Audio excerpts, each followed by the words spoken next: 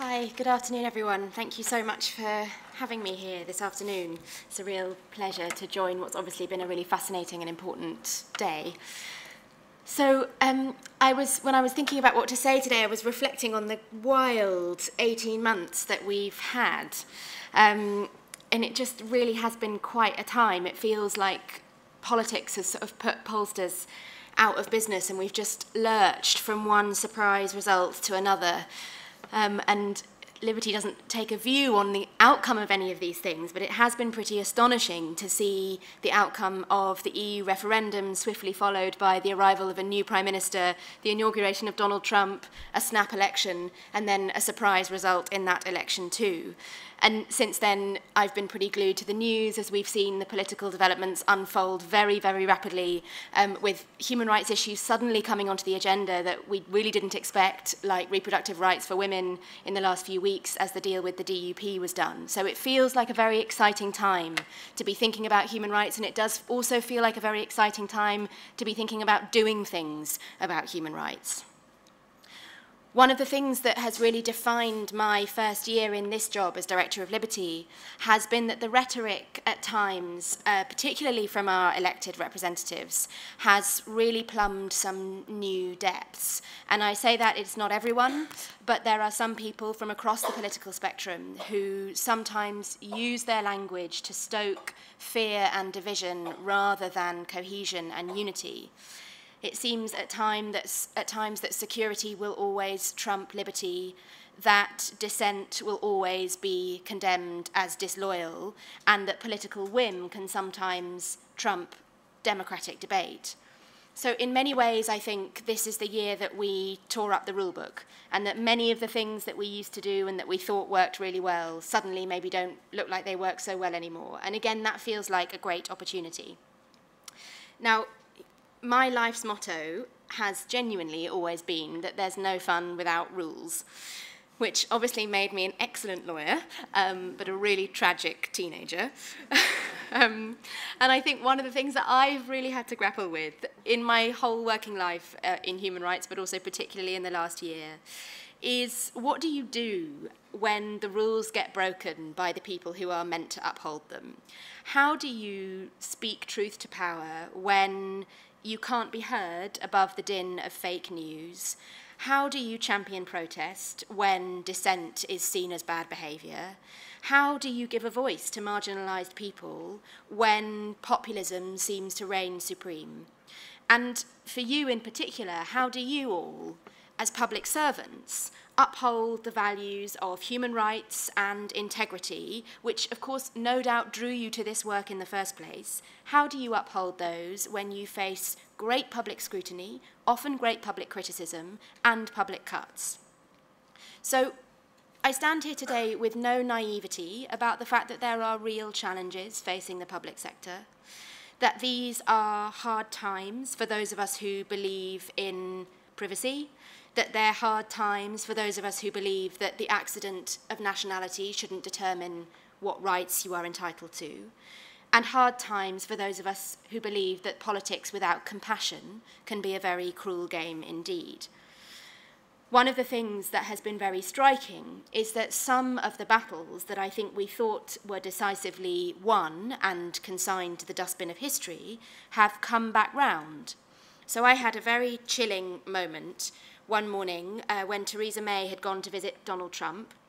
And I woke up, like many of you no doubt do, to the dulcet tones of the Today programme. Um, and there was a conversation happening about torture. And no doubt, in the pursuit of impartiality and balance, they had one person on who was condemning torture outright. And then they had someone on who was saying, well, you know, there are times when perhaps it might be necessary for sovereign states to do certain things that liberals might feel uncomfortable with. And just like that, as you're drinking your tea in the morning and you're listening to what must be one of the most genteel and civilized radio stations in the whole world, just like that, you realize that sometimes the things that we thought were settled can become very unsettled, and battles that we thought we had won need to be defended all over again. So in moments like that, I can feel a little bit like the roof is falling in, and I find myself, as a rule lover, reaching for the architecture the things that we have in place to protect us and protect ordinary people in, in this country. So I think about the European Convention on Human Rights, and I think about the Human Rights Act, and I think about the Equality Act and the Modern Slavery Act, and all these wonderful pieces of legislation which in black and white suggest that we should live in an incredibly civilized and decent society.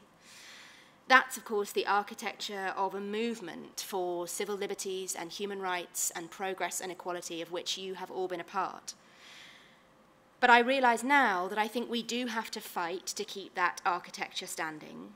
And I think as we renegotiate our European relationships and as we confront an unpredictable and turbulent politics, as we recognize that many people who we seek to defend and empower feel left out and left behind, I think we really have to work hard and work hard together to hold the line. So we have to work to protect the Human Rights Act and our membership of the European Convention. And we have to work to make sure that all those hard-won rights and equalities protections are kept part of our laws during the Brexit process. Of course, at Liberty, that's very much our bread and butter. That's what we do day in, day out, that kind of fight. But what I really want to try and communicate to you all today is that you are absolutely vital to the success of that work. You are great human rights defenders. You are the people who are upholding human rights in ordinary and important ways every single day. I came to human rights from quite a legalistic and academic background. I'm very proud and lucky to be able to say that I have never suffered a human rights violation. And that's a great privilege. So I don't pretend to be able to speak for the people that I often have represented. But what I came to realize through my work, first as a barrister and now at Liberty, is that what can perhaps look or feel like a very dry and legalistic framework is actually very visceral, very emotional, very human. And I had so many examples of times when I had conversations with people about human rights meaning something to them. And those people were very often my clients, but they were also very often the public servants that I was working with and sometimes working against. I stand here as a result of those conversations really, really optimistic about the future. It feels like, and the theme of this conference today totally backs this up, it does feel like this is the year that activism is going mainstream, and that you don't need to be someone who chains yourself to railings or goes on protests to take a little bit of activism into your daily life to really stand up for the things that you believe in. When I started out as a lawyer, as I say, I, I came to the idea of human rights from a fairly dry and academic perspective and knew and was totally convinced that for someone like myself, I never had any religious faith, but when I lighted upon the human rights framework, it seemed to me that it provided a set of values that I could subscribe to in an almost religious way. And there were many, many chapters in many of the books that I read that explained very clearly why human rights were essential to protect the citizen from the overweening state, to uphold the rule of law, to be the balancing feature of a majoritarian democracy. And of course, written down by great legal minds after the horrors of the Second World War, enforced by great legal judges over decades since, and endorsed by all the civilized nations of the world. I loved that human rights are not political in a party political sense. They are, of course, deeply political, but they sit above and beyond the turbulence that we might find in our political hubs. I love that they are secular, but also not incompatible with religion. I love that they are designed to be operational tools that can be flexible to the demands of policing or combat. I love watching the way they operate a constant balancing act between the needs of the individual and the needs of the community. All of those things, academically and theoretically, were more than enough to convince me that human rights was a very powerful framework, and I think should be more than enough to convince pretty staunch skeptics that they're a very powerful framework. But as I say, as I started to work in this world, I realized that there was a much more potent and profound reason for signing up to this human rights agenda, one which perhaps thinkers and lawyers and politicians and perhaps sometimes public servants don't come to as quickly as they do come to the academic understanding of things. And that's when I came to realize that most people that I have met understand why human rights are important on a deeply cellular level. I learnt that as a legal aid lawyer, representing, as has been said, sometimes some unpopular causes and some unpopular people, I learnt that I could walk into a room with any client or any family and that we could find some common ground, and that the adversity that they were facing meant that it expanded their worldview to understand why it was important for other people to have the rights that they were entitled to. Very early on in my career at the bar, I represented a family whose teenage daughter had died. She'd taken her own life very tragically um, in psychiatric care. And the circumstances of that case, and anyone who is involved in these areas will be, I suspect, sort of sadly familiar with the kinds of failings that came to light in that inquest. So she had arrived onto a new ward, a very vulnerable young woman, a very frightened young woman, and she had sat waiting to be processed effectively in a corridor and there was a CCTV camera in that corridor, and she sat on a chair, bent over, shaking, you could see, visibly distressed. And she sat there for three hours with people walking past her. And no one, not one person in that three hour period, stopped to say hello to her or ask her name or check that she was getting the help that she needed. There were many other technical things that went wrong relating to observation checks and medication. And of course, the inquest system is designed to learn the lessons of all those things. The saddest detail of all, I think, and it sort of was a continuation of that first scene of her sitting on her own, was that when she was found by some of the staff at the ward having tied a ligature around her neck in her room, and they called 999, the paramedics arrived, the paramedics walked into the room, and there were five staff members from the psychiatric ward there, and they turned to the staff members and said, What is this young woman's name? And none of them knew that she was called Gemma. And I remember sitting with her family, and her dad worked on the railways, and her mum was a social worker, and her brother was training to be a police officer. They were real, they were a public service family. Um, and I sat with them having a cup of tea in one of the breaks, and we talked about the inquest and we talked about what my role was and some of the things that had been revealed. And the family started saying, when, when Gemma first died, the hospital contacted us and said that we, sh- we shouldn't worry too much because they were going to do an investigation. And the mum said, you know, it was it was so odd because we just felt it wasn't right for the hospital to do the investigation. We felt that the hospital shouldn't be the ones investigating how she died. There needed to be an independent investigation. And of course, that's what they have a right to. That in that moment, this woman was articulating one of the central limbs of Article 2 of the European Convention on Human Rights. She didn't need to be a lawyer, but she had a gut instinct that an independent investigation into a death in state care was absolutely essential. She went on to say that she had thought, she had hoped, that when her daughter was admitted to psychiatric care, that there was some obligation on the doctors and nurses to protect her. She was a vulnerable woman. Didn't they have to protect her? And of course, they were right about that too, because under Article 2 and then also under Article 3, there is this positive protective obligation to protect vulnerable people like Gemma when they come into contact with the state. And that protective obligation is not just if you're on a psychiatric ward, that's the obligation that means the police have to investigate crimes, rape, and domestic violence. It's the obligation that means you've got to protect kids from racist attacks or from LGBT communities from hate crime. That was just one conversation of literally countless conversations when human rights for me were brought to life, and it was shown to me that lawyers later had realized how to codify those instincts into something black and white, but that first of all, they had been very important human instincts. I think all of you probably really understand that because perhaps more even than a legal aid lawyer. You will be coming in, for many of you, you will be coming in contact with people day in, day out who express themselves in that way. And you will no doubt have understood why it was so important for the Hillsborough families to finally prevail last year after so many decades of fighting for justice. I think public servants, perhaps more than anyone, understand why the framework meets the reality in such an important way.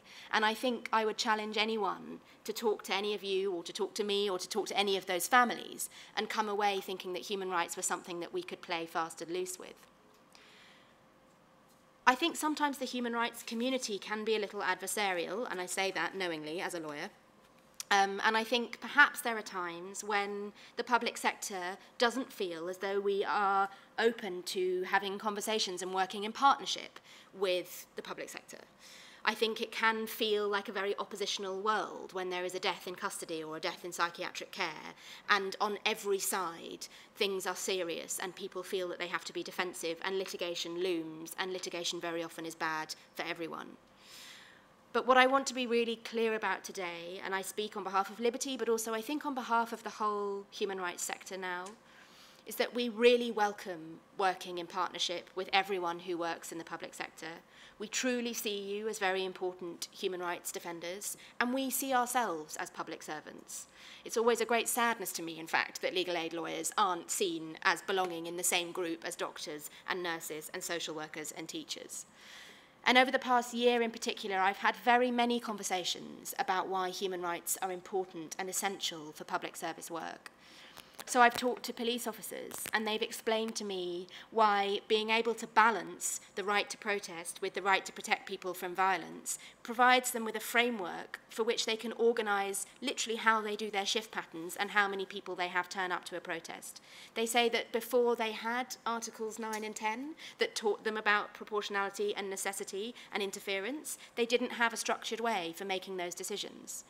They talk about the way that Article 3 and the obligation to investigate crime has meant that they can mount a very hard-edged ask for more resources to investigate sexual offences.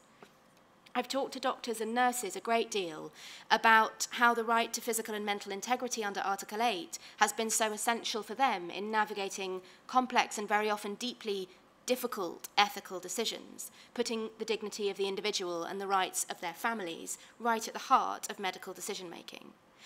We've talked to teachers who are having to navigate the prevent duty and how to try and use safeguarding in schools to spot people who are vulnerable to radicalisation, but of course to other things like child sexual exploitation, without using the prevent duty in a way that discriminates against Muslim communities and isolates children in their classrooms.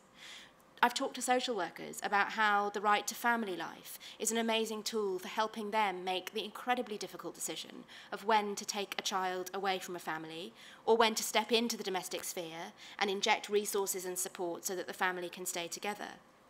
Of course, after the last few weeks, housing officers are reflecting on Grenfell Tower and they are reflecting on the fact that the right to safe housing is perhaps something that all of us haven't been talking enough about in recent years prison governors too, and I used to do lots of prison law, but we're increasingly having conversations with prison officers and prison governors, and I know you've heard about this in more detail this morning, about how putting human rights at the centre of our penal reform system can be incredibly powerful.